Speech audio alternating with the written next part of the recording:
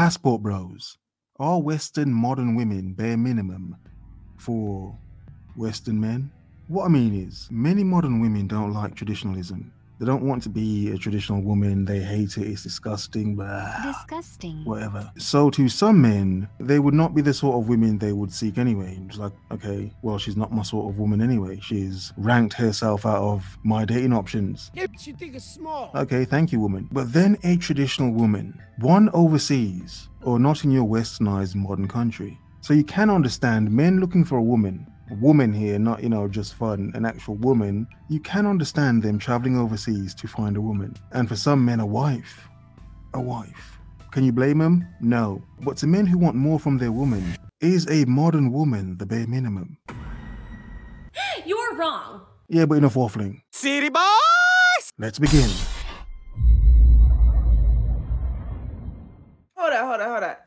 Have y'all ever heard of the movement called the Passport Bro?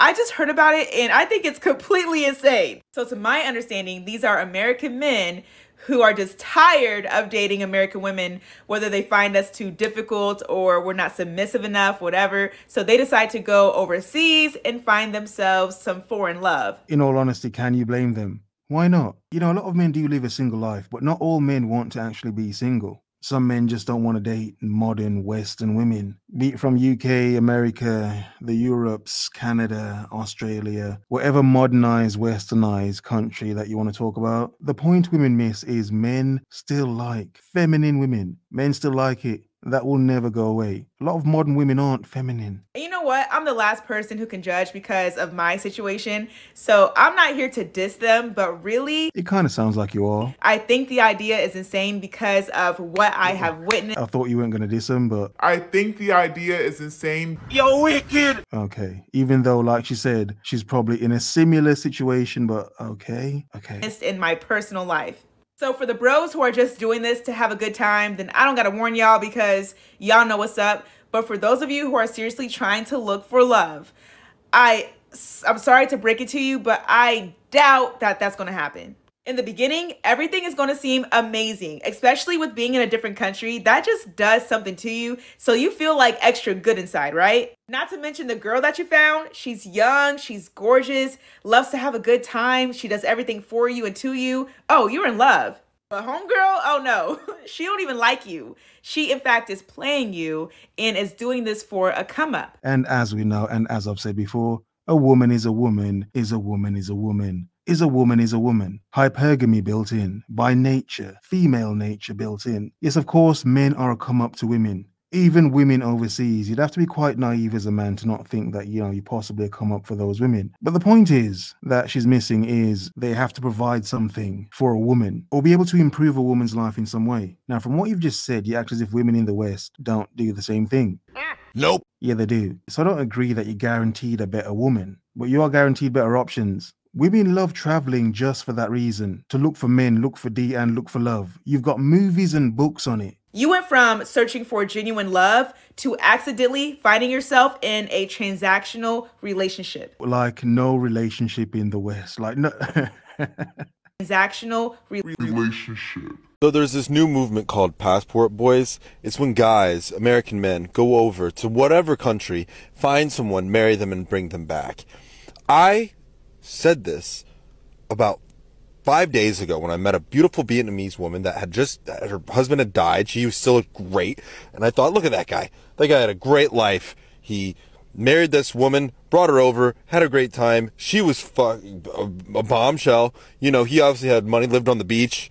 You know, maybe it was a great time. Yes, she had brought in a death certificate because he had just killed himself, but she said it was because of the pandemic. I don't know if she did it or not. What? It doesn't matter. Either way, I'm beginning to jump on board with this whole thing because the dating in this Southern California area is not ideal. And honestly, I'm not even trying to date anymore. I don't have room for another person in my life right now. I'm trying to get things done.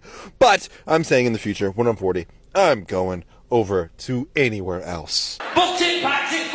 This post is for all my passport boys.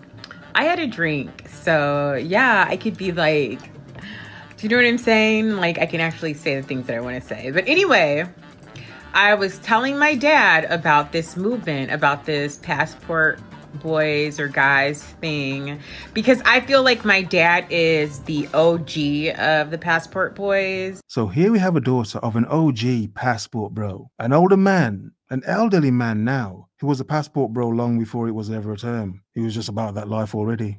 Or the passport man, like he did this back in the 70s. Like my dad was married to an American woman. He got fed up because of her American woman ways, and he totally went down to Panama and chilled there for a minute. Interesting. So he, interesting. So he did have an American woman. You know, he did try, obviously, the home supply. That sounds wrong, but you get my point. But he was like, nah, nah, nah. This is not organic. And found my mom. Interesting. When my dad met my mom in Panama, he she did not speak a she didn't speak English. So, and she was 10 years younger than him. Um so yeah, like I feel like my dad felt like, you know, he got perfection. Outstanding.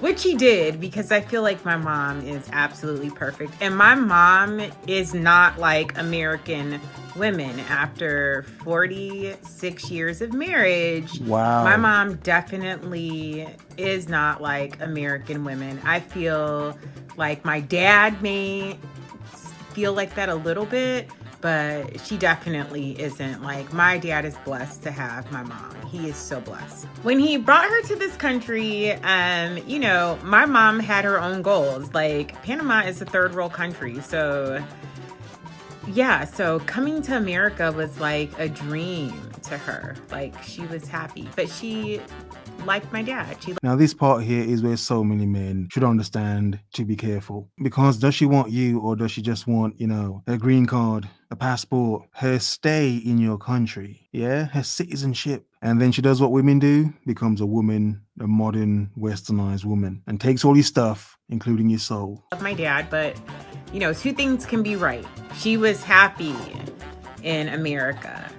Um, and he did let her work.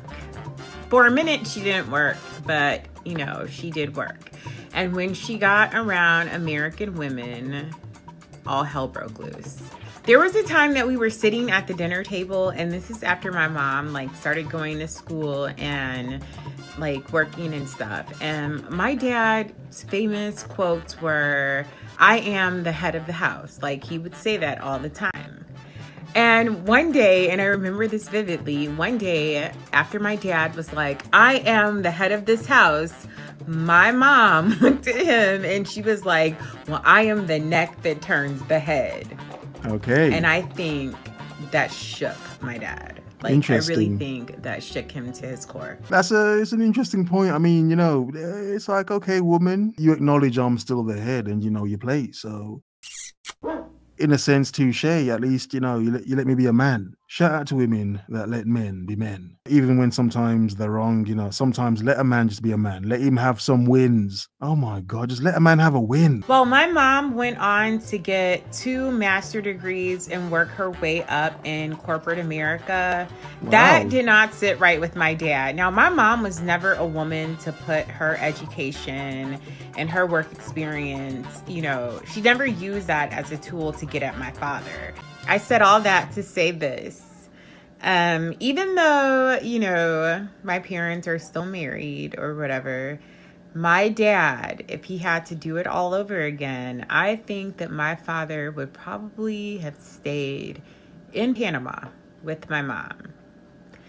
But, you know, she still is very different than American women. She definitely is different than American women. And all of you foreign women that these passport guys are talking about, please understand that they don't think that you guys are dumb. They don't, they're not trying to go there to use you or anything. I think that they see the value in you guys as women, and you guys are not corrupted like a lot of these American women are. So don't ever feel that way. You're prized. So don't ever feel that way. You're Prize. Prized. Discipline above lust, but happiness over what ifs. That way, your prize. Have a nice day.